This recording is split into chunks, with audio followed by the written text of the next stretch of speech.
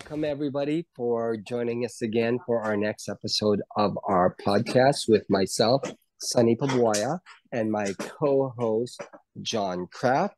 And we're here today with a martial artist who is an actor, uh, a stunt personnel. I mean, he's got many accreditations that under his name.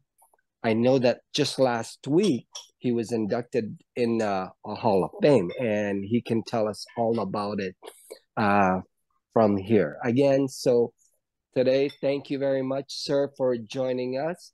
Um, come on in. How are you doing today, sir? Thank you. Uh, I'm doing great, Sonny and John. Thank you all for having me. You're welcome. Pleasure to be here. I salute yes. both gentlemen. my, my good friends in this martial art world that we live in.